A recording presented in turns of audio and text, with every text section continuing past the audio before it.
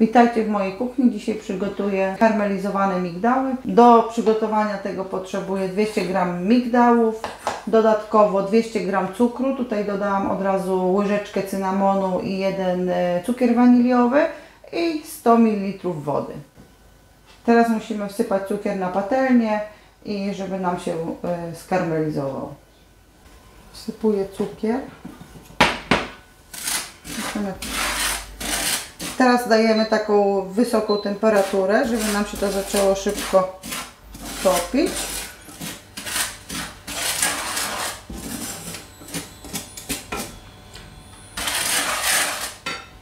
Dolewamy wodę.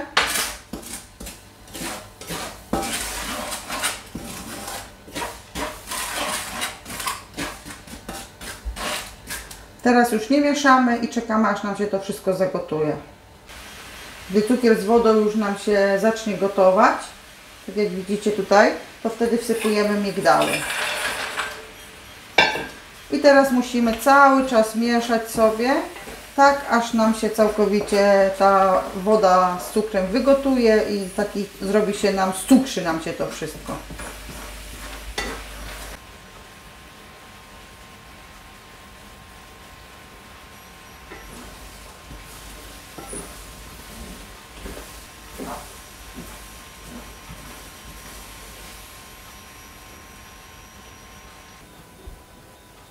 Po około 5 minutach od dodania orzechów, widzicie, woda już odparowała i tak nam się to zaczyna scukrzać. Teraz zmniejszamy temperaturę, tak, tak średnią i teraz już musimy cały czas mieszać, aż ten cukier nam się znowu skarmelizuje powstanie taki szklisty karmel.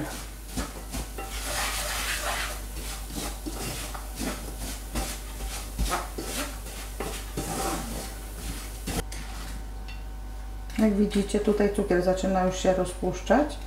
Zaczyna się robić znowu taki płynny karmel. I tak musimy dalej mieszać, aż tak cały cukier się taki zrobi.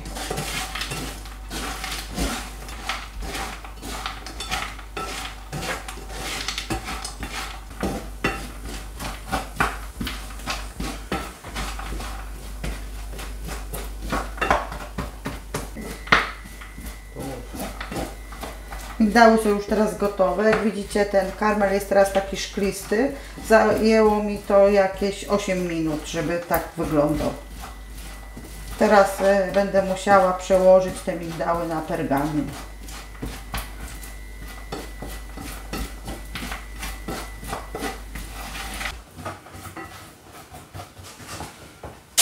Teraz wysypujemy migdały na pergamin.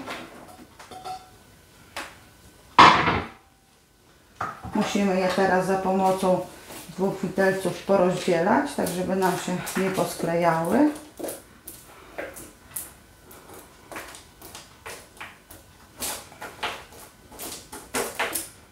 Teraz tak przygotowane migdały zostawiamy tutaj na tym papierze, żeby nam ostygły tak jakieś 10-15 minut. Migdały nam już przestygły. Widzicie, są takie rozdzielone.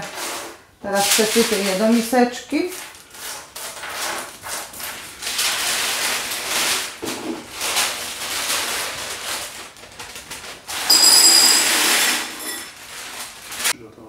Tak przygotowane migdały możecie spokojnie umieścić w jakimś e, słoiku i je zamknąć, bo jeżeli zostawicie je tak na powietrzu, to one zaczną się kleić, bo powinny być zamknięte szczelnie w słoiku, albo w jakiejś puszce, jeżeli macie. Chyba, że zrobicie taką małą porcję, to myślę, że od razu znikną ze stołu.